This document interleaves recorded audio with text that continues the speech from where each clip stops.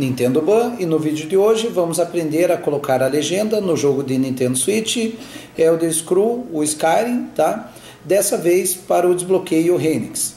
Antes de começar o vídeo, deixa eu fazer alguns agradecimentos. Eu fiquei sabendo dessa tradução através do grupo Nintendo Switch Brasil de WhatsApp. Vou deixar o link na descrição. Aproveite, ele está quase lotado. É, quem me ajudou foi o Mafra, tá? É, no início essa legenda só era possível para XOS e no Renix não estava dando certo, porque ela não tinha sido projetada para ele. O Mafra entrou em contato com os fundadores, né, com quem mexe no desbloqueio Renix, comentou o que estava acontecendo, eles falaram que isso ia ser possível já na próxima versão, mas eles acabaram disponibilizando então um arquivo que só vai ser lançado na próxima, né? Que chique, né? Então, aqui spoiler, né? É, disponibilizou para ele, ele passou para todos os membros do grupo. Então, vou deixar o link na descrição desse arquivo, né? Exclusivo. É, pondo ele na pasta certa, você vai ter a possibilidade de jogar ah, esse jogo, né? Que tem áudio em inglês, legendado em português aqui do Brasil.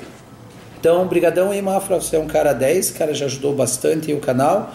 É, eu queria, eu, no primeiro vídeo eu não agradeci o pessoal que fez a legenda, porque sinceramente eu não sabia quem tinha feito, então eu deixei na descrição os agradecimentos. Daí o meu amigo Fábio, né, da G4M3S, ele entrou em contato comigo e falou, puxa, Carol, eu conheço, eu estou no Discord, né, do pessoal que fez essas legendas, que mexeu, é, e assim ficaria legal se você desse os créditos a ele, né, a eles, né. Então, dessa vez, né, como agora estou gravando o vídeo depois de ter falado então com o Fábio, né, e agora vamos dar os devidos créditos. Então quero parabenizar ao André Delfino, estou colando aqui, senão eu só sei o primeiro nome, tá?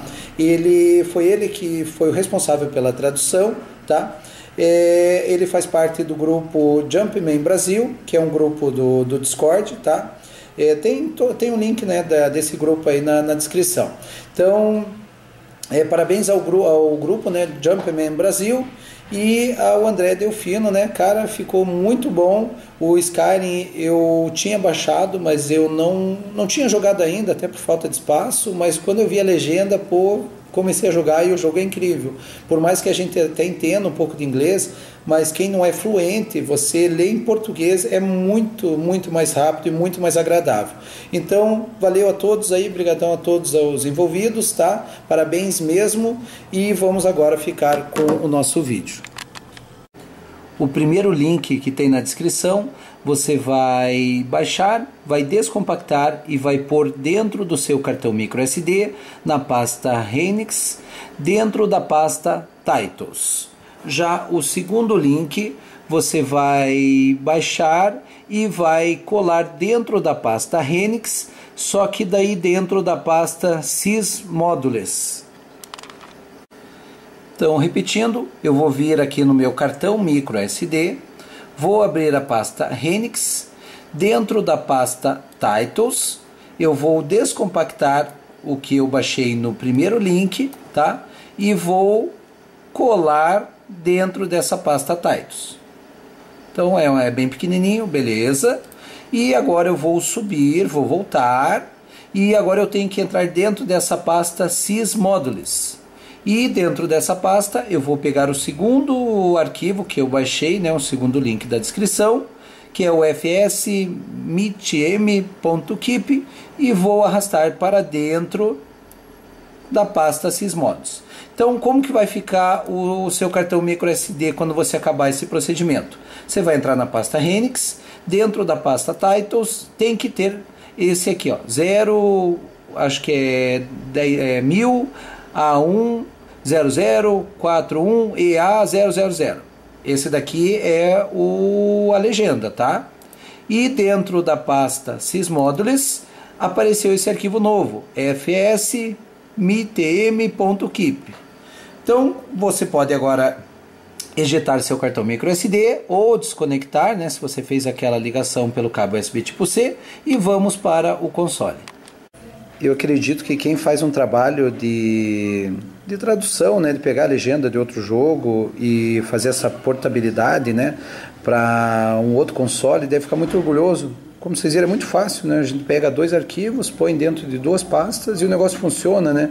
Então, pra gente aqui chega a ser ridículo de fácil, né? Só você pôr no lugar certo. Agora, para quem fez, deve ser um trabalho de horas e horas e horas. Então, vamos pôr para iniciar o Header Screw. Tá, esse aqui meu tá atualizado. É, só funciona em NSP. Pelo Renix, só aceitar NSP. É, eu vou fazer um corte aqui, tá? Senão vai ficar muito grande, ele demora um pouco para começar, só para mostrar para vocês se está dando certo, tá? E para o vídeo não ficar tão longo. Então podem ver, pressione qualquer botão. Não se preocupe que se a tua versão de desbloqueio não for compatível, eu testei de tudo que é jeito, tá?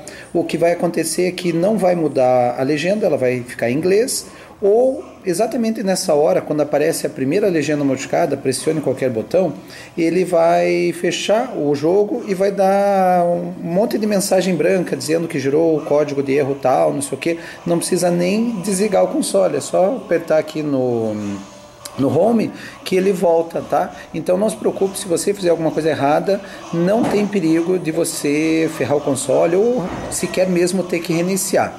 Então vou apertar aqui qualquer botão é, vou por aqui em novo, começar uma nova partida e tá tudo em português, tudo mesmo. É, se eu não me engano, acho que já vai aparecer a descrição do jogo, né? Aqueles comentários iniciais. Então vou deixar aqui um pouquinho, vamos ver se aparece. Ó, realmente pode ver que apareceu, tá?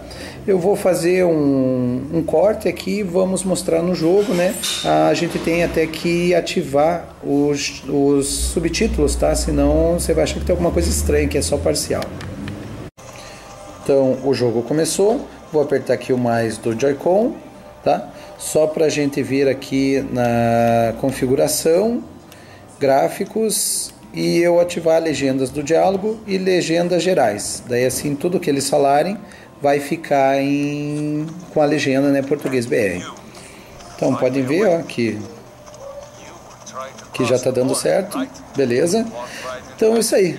Agradeço a todos aí e você vai achar na descrição ah, o link para essa legenda para SXOS e para quem usa o Recate. A gente chama de atmosfera, né, que na verdade são módulos que foram pegos do atmosfera e usados de uma forma né, que a gente chama de Recate. Então, Recate e atmosfera, por enquanto, acabam sendo a mesma coisa, falando a grosso modo.